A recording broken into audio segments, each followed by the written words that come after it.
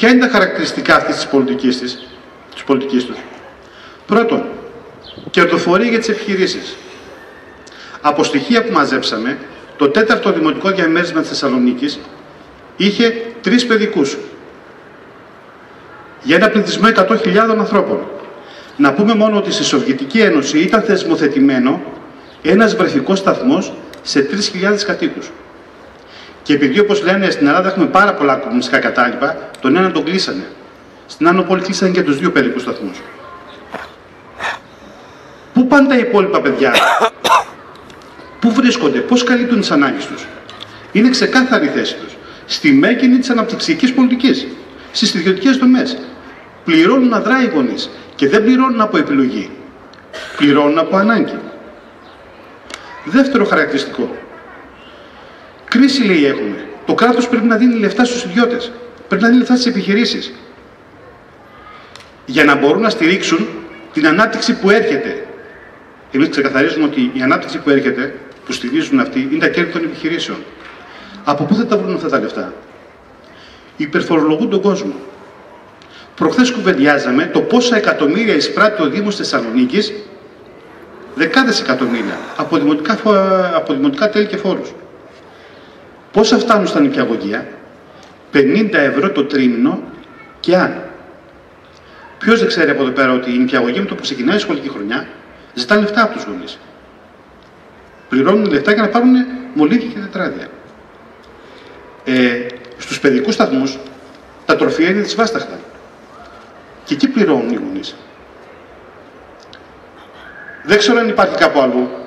Ίσως είναι να το κουβεντιάσουμε και με τον Κυριάκο εδώ πέρα.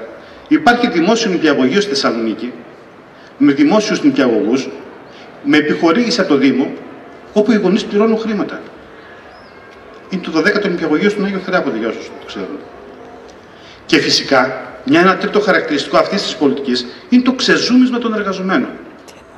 Μία νηπιαγωγός σε ακατάλληλους χώρους, με παιδιά που μάλιστα όσο πάντα αυξάνουν περισσότερο, για να κάνει τι, είναι χαρακτηριστικό σε νηπιαγωγείο εδώ πάλι της Θεσσαλονίκης που άνοιγε στην πόρτα της αίθουσας και έβγαινε στο πεζοδρόμιο. Πήγαιναν οι γονείς, βλέπαν τι γίνεται εκεί πέρα, κρατούσαν τα παιδιά και τα παιδιά ανοίγαν την πόρτα και βγαίναν στο πεζοδρόμιο και τα παίρναν και σχόλια τα φεύγανε. Τι συμπέρασμα βγάλανε όλοι οι αρμόδιοι, ότι το νηπιαγωγείο αυτό δεν έχει παιδιά γιατί η νηπιαγωγό δεν κάνει καλά τη δουλειά της.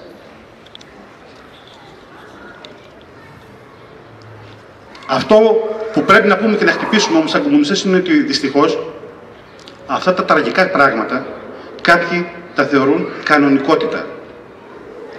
Για το τι πρέπει να γίνει, τα είπε καλύτερο ο Κυριάκος, θα μην πω και εγώ πράγματα. Να κλείσω εδώ πέρα με δύο δηλώσεις. Πριν από χρόνια, ο τότε πρόεδρος του ΣΕΒ είχε πει η καλύτερη περίπτωση για να εξασφαλίσουμε αυξημένη παραγωγή υπεραξίας είναι να επενδύσουμε στα νηπιαγωγεία. Αυτό είναι για τους καπιταλιστές το παιδί. Μελλοντικός παραγωγός υπεραξίας. Αν δεν παράγεις κέρδος, δεν χρειάζεται να υπάρχεις. Δεν υπάρχει για το σύστημά τους λόγος να υπάρχεις. Και απ' την άλλη, η κομμουνιστική προ... ε, οπτική. Είπε ένας μεγάλος σοβιετικός παιδαγωγός. Η παιδική ηλικία, η σπουδαιότερη περίοδο της ανθρώπινης ζωής, δεν είναι προετοιμασία για τη μελλοντική ζωή. Είναι πραγματική, φωτεινή, πρωτότυπη, ανεπανάληπτη ζωή. Και από το πώς πέρασε την παιδική ηλικία, από το ποιος το κρατούσε από το χέρι στα παιδικά χρόνια, από το τι πήγε στο μυαλό και στην καρδιά του από το περιβάλλον, από αυτό εξαρτάται σε αποφασιστικό βαθμό τι άνθρωπος θα γίνει το σημερινό παιδάκι.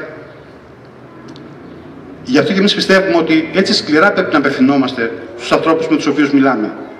Τι θέλεις να γίνει το παιδί σου, Να παράγει υπεραξία που θέλουν οι καπιταλιστές, ή να αναπτύξει ολόκληρα την προσωπικότητά του να ικανοποιεί τις ανάγκες του σε έναν κόσμο στον πόη των ονείρων και των ανθρώπων.